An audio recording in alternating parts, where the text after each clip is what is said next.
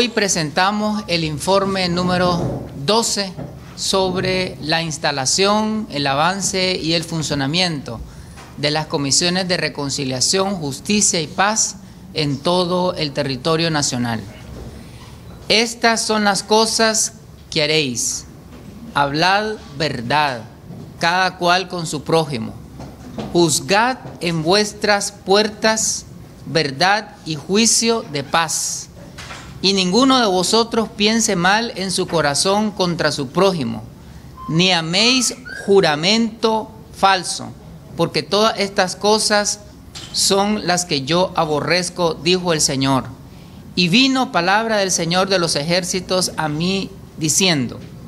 Así dijo el Señor de los ejércitos, el ayuno del cuarto mes y el ayuno del quinto y el ayuno del séptimo y el ayuno del décimo se tornarán a la casa de Jehová en gozo y alegría y en festividades solemnes. Amad pues la verdad y la paz. Zacarías 8:16. Sobre el impacto que las comisiones están produciendo a nivel nacional, estos espacios de convivencia armónica reconocen que adolescentes y jóvenes representan uno de los tesoros vivos más grandes que tiene Nicaragua. Son su presente y futuro, fuerza de evolución y transformación social y económica, sujetos protagonistas, titulares de derechos. Por eso las comisiones están integrando a jóvenes de distintos sectores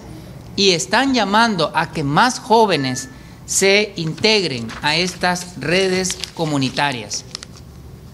para trabajar con y para la juventud, para consolidar una cultura de paz, una cultura de no violencia activa desde las nuevas generaciones,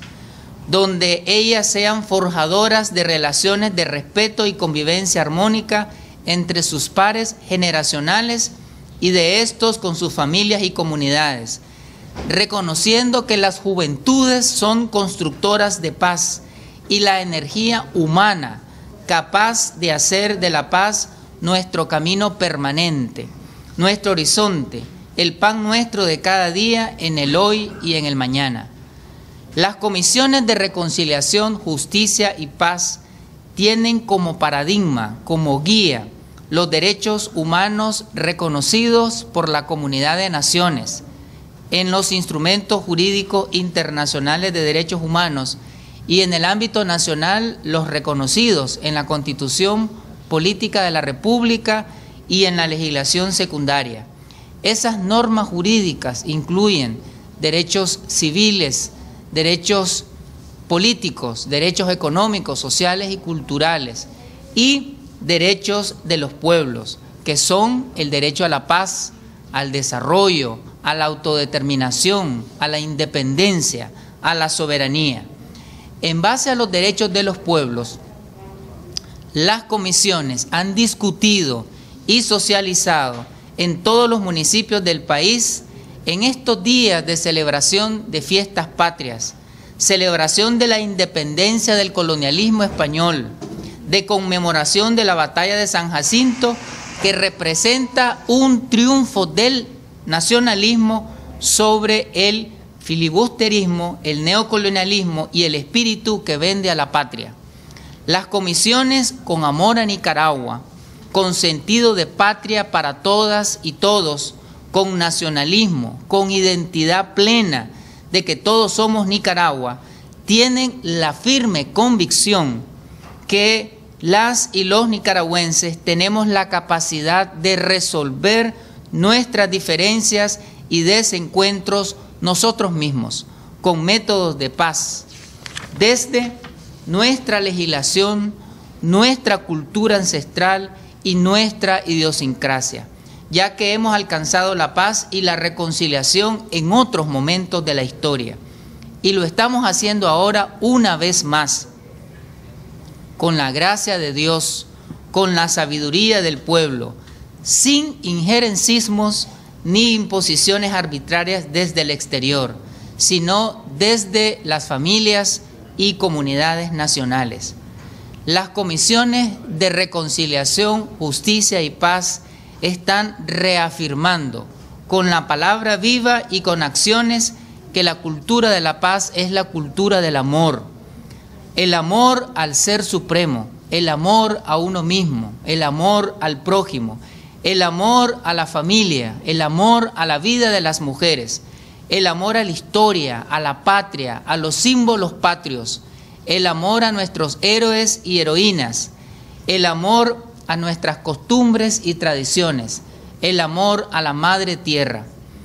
Amor a todos los elementos de la naturaleza, como señala la constitución política citando la Carta del Bien Común y de la Humanidad. La tierra forma con la humanidad una única identidad compleja, es viva y se comporta como un único sistema autorregulado formado por componentes físicos, químicos, biológicos y humanos que la hacen propicia a la producción y reproducción de la vida y que por eso es nuestra madre tierra y nuestro hogar común. Debemos proteger y restaurar la integridad de los ecosistemas con especial preocupación por la diversidad biológica y por todos los procesos naturales que sustentan la vida, reza la Constitución Política en su artículo 60 las comisiones han asumido como parte de la agenda de la cultura de la paz cuidar y proteger los ríos, lagos, lagunas, bosques, manglares, montañas, mares. Son protectoras de los recursos naturales y voluntarias colaborativas de las políticas, programas y acciones ambientales que el Gobierno de Reconciliación y Unidad Nacional implementa. Asimismo, las comisiones hacen un llamado a todos los estados a que asuman acciones urgentes para proteger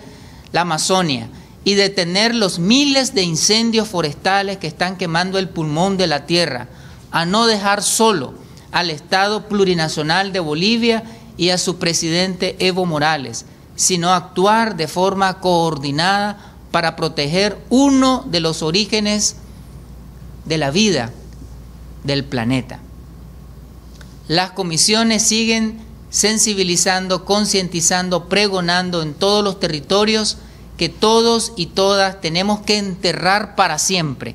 Las actitudes y comportamientos que causen daños a la integridad, la espiritualidad y la vida de las personas, las familias y comunidades, como las amenazas, chantajes, mentiras, palabras ofensivas, denigrantes, agresiones físicas, psicológicas y sexuales, acciones de violencia intrafamiliar, de género, comunitaria y social, actos irrespetuosos a las personas adultas mayores, a docentes, irrespeto a la ley, actos delictivos. Todo eso tiene que ser enterrado y reemplazado por una cultura del amor, la ternura, el respeto, la comprensión, el buen trato, el trato digno, amable, afable, la palabra sanadora, restauradora y las acciones y comportamientos que propicien reconciliación, unión, construcción, acciones que edifiquen, que nos hagan crecer como seres humanos, como familias y como país. Las comisiones están reflexionando en diferentes municipios y comunidades que la cultura de la paz es la cultura de la prevención la prevención de todo aquello que cause daño o lesiones a la vida personal y colectiva, a todo aquello que afecte la coexistencia pacífica, todo lo que altere la estabilidad y el bien común. Por eso las comisiones se están disponiendo poco a poco para colaborar en los territorios con todos los programas que el Gobierno de Reconciliación y Unidad Nacional impulsa relacionados a la prevención de los femicidios, y otros delitos contra las mujeres, prevención de la violencia hacia la niñez, prevención de agresiones informáticas como el grooming, sexting, la propalación, la pornovenganza, entre otras formas de manipular, engañar y destruir la dignidad de las mujeres, la niñez y la adolescencia. la prevención también del uso y consumo de drogas, la prevención de los desastres frente a eventos de la naturaleza, prevención de incendios en los hogares e incendios forestales, prevención de epidemias, prevención de actos delictivos, entre otros fenómenos, y fortalecer la cultura del amor y cuido a la vida, la vida de la patria, la vida de cada uno de los hermanos y hermanas que habitamos en nuestra casa común. Y cerramos la parte cualitativa con un texto, texto de las Sagradas Escrituras. Cuando los caminos del hombre son agradables al Eterno, aún a sus enemigos hace estar en paz con él. Proverbios 16, 7. Sobre los avances cuantitativos de las comisiones, tenemos que hasta el día 29 de agosto, en total están instaladas y funcionando 7.171 comisiones en toda la geografía nacional. Y desglosada por departamentos tenemos en Nueva Segovia 450, en Madrid 192, en Estelí 331, en Chinandega 609, en León 542, en Managua 977, en Masaya 346, en Carazo 225, en Granada 279, en Rivas 286, en Chontales 287, en Boaco 375, en Río San Juan 355, en Celaya Central 324, en Jinotega 246, en Matagalpa 896, en la región autónoma del Caribe Norte 52, en la región autónoma del Caribe Sur 73 y en el Triángulo Minero 320 comisiones. Estos son los avances cualitativos y los avances numéricos